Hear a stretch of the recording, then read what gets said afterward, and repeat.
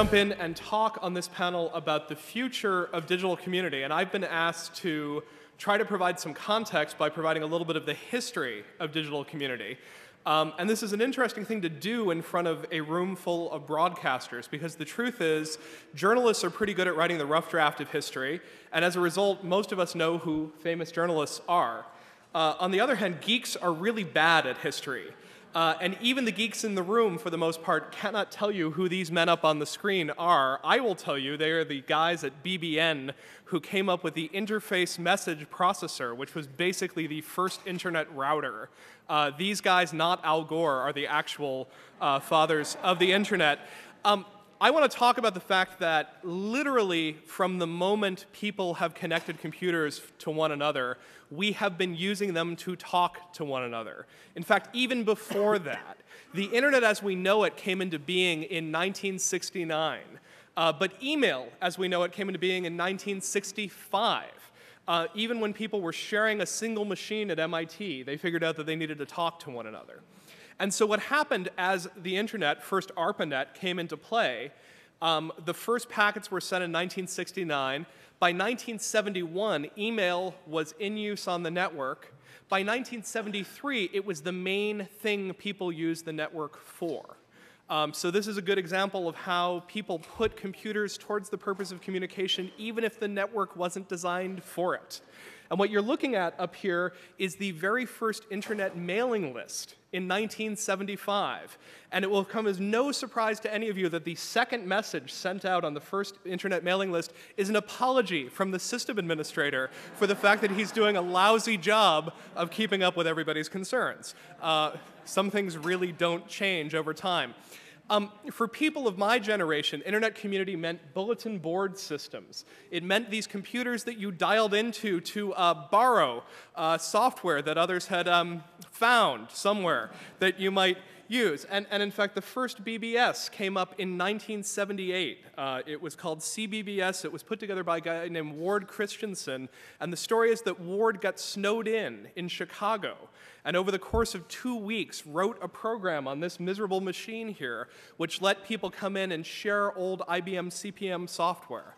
So that's 1978. By 79, we had Usenet. Uh, and this is the precursor to all the threaded message boards anyone has ever used on the web. Usenet had thousands and thousands and thousands of topics, most of which were completely irrelevant even to the people who participated in them.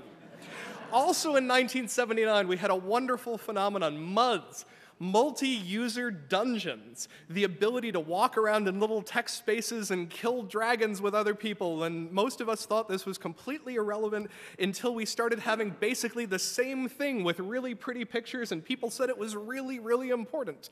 And they call them massively multiplayer online games. This is World of Warcraft that we're looking at. But again, 1979, this is the time in, in internet history where we invented the emoticon, right? You know, we actually see it for the first time. I'm sorry, I don't have it in here, but it's just a dash and uh, a paren was meant to be tongue in cheek. We don't actually get eyes attached to it for another two years. Look, in 1982, we have a critical moment in the development of online chat. We have Minitel. This is what happens when you let a national government engineer the internet. It's little and pink and very hard to type on. But what happened with Minitel was Minitel introduced a chess program. And the chess program had a chat feature. And people quickly discovered that you could flirt with people you'd never met before in the chat feature. And this is the birth of IM as we know it today. In fact, there's a lot of people from a certain generation in France who all you have to do is say 3165. Uh, and they refer to anything as 3165 as being about sexual content, because that was the number you dialed on Minitel to get the chat lines. We haven't come so far. In 1990, we get the World Wide Web, and, and some people start realizing that this is something that isn't just used by people who look like me. And this is the first homepage we get at CERN. It actually looks very much like this today. In 1995, we suddenly have companies like GeoCities and Tripod allowing anybody to build pages that should look like this and instead end up looking like this. And despite the fact that in 1995 most of the web does in fact look like this, we have in 1997 people dedicating themselves to trying to find the best within this mess and putting it together in something that they call weblogs, where they're annotating what they think are the best bits of it. And by pointing all of these blogs at one another, we get this sort of emergent community of people pointing to one another. If everyone stands here and points to somebody else, we basically get the same sort of community that we're used to having in the blogosphere. You can all try it right now. You're now a blogger. Ward Cunningham, 1995, figures it's not enough just to have one person edit a web page. Why not have everybody edit a web page? Which sounds like a phenomenally stupid idea until you try to run an encyclopedia on top of it, which works remarkably well. And it actually turns out that if you put dozens and dozens and hundreds of monkeys together in a room, they actually write encyclopedias, and they're pretty good. So why now, at the end of this internet history, where I'm trying to make the point that a lot of the really interesting community stuff was invented in 1982 or 1979, are we all suddenly paying attention to it? The simple answer is that there's a whole lot of graphs that look like this one. This is the graph of hosts connected to the internet, but you could make a graph of total internet connectivity. You could make a graph of total number of web pages. You could make a graph of total number of web users.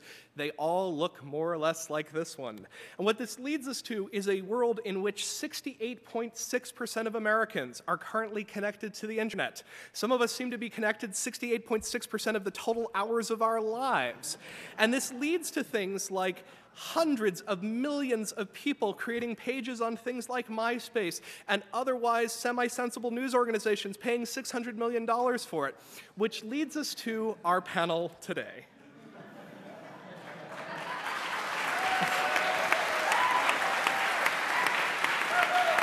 Thank you.